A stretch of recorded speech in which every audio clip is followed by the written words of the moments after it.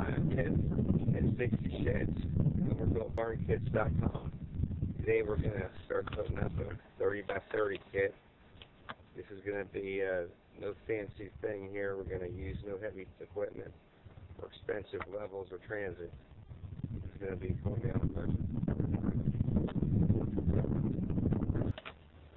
Alright.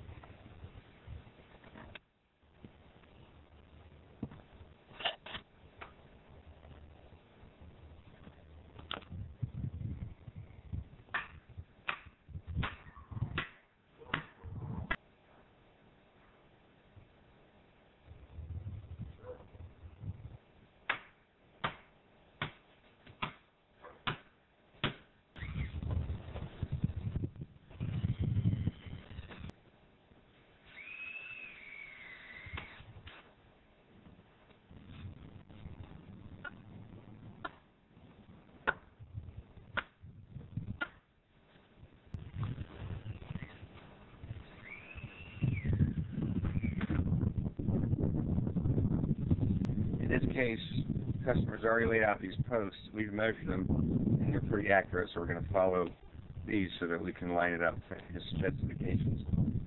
So we're just going to run down to this post and that post. Okay, that's it. All right, I it down here, and move this one over here.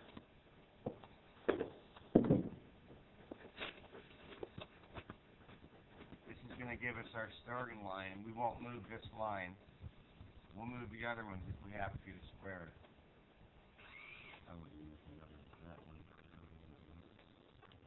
See, and this is actually...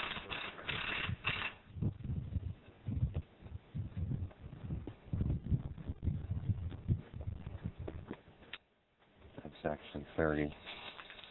Now on this width, we're going to notch, so it's an exact 330.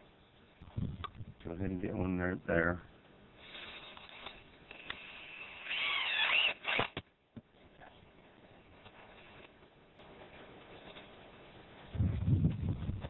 Okay. We're just going to move it over till it hits the 30. Wow. Real tight. Maybe I'll keep. Okay so now we're just gonna start our marking. So, Sharpie works really good for this.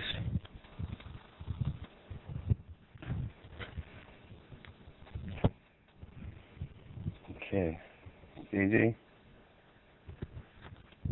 come on down here and hold this. Okay, we'll mark it down center, and there's going to be a setback.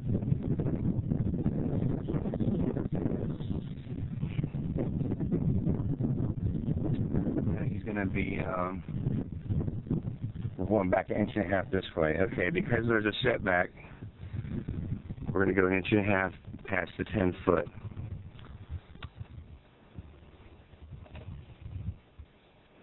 So this is going to be the first 10 foot on center pole.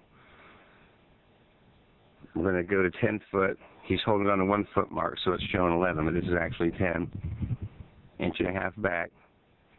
That way, when we set the header in, it's going to stick out an inch and a half over, and that's going to give us something for the truss to sit on. We're going to go down and do the second post, third post. This is going to be 20 foot on center, so we're going to go down to the 21. And again, we're going to go an inch and a half over towards the front.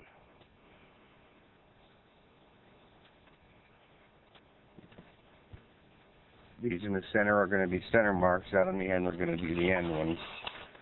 Then we're going to come back here to 30 feet.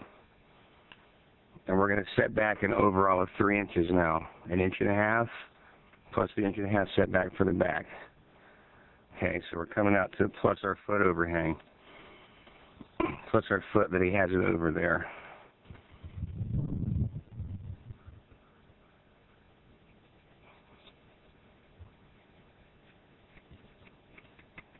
Without going a foot over, just hold it back on the end.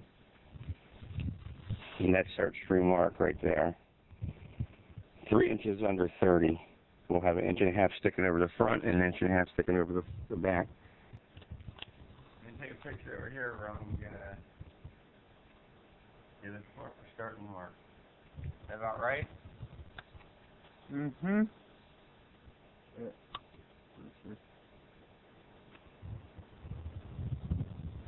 Alright. One foot over. Yeah, you go one foot over. That's cool. Just let me know you're doing it. That's good.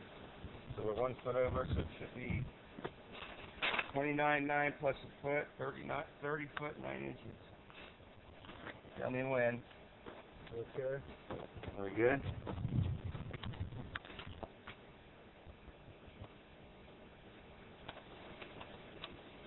Make sure you're not hitting the string. It's 43 foot and one half inch is what we're coming up with here. 43 foot and one half inch. You hold it a foot over.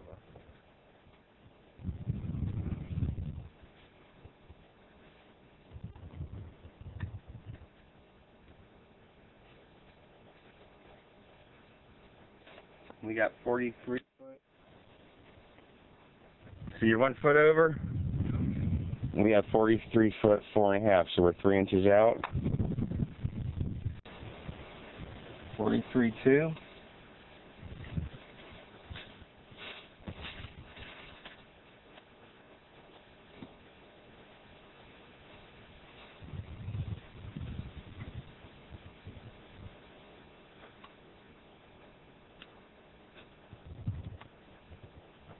Really, really close. I got a pull on it. Forty-three, two and a half.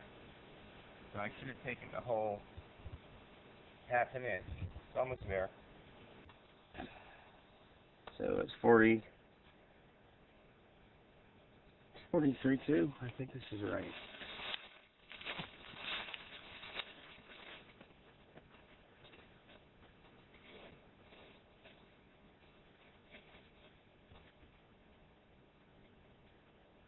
Oh, it's really, really close.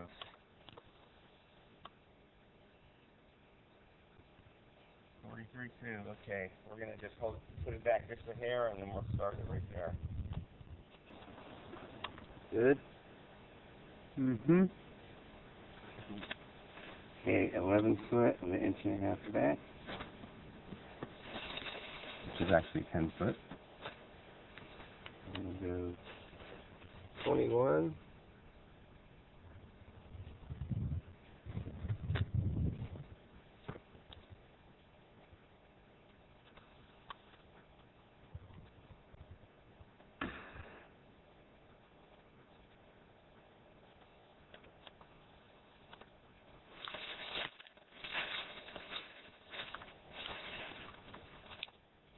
And then thirty-one with three inches back.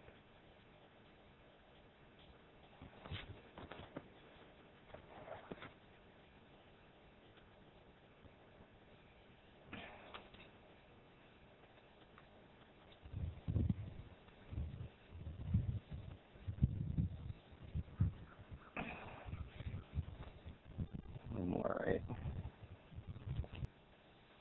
Yeah, forty-three, two and a quarter. 43 two and a quarter. It's perfect.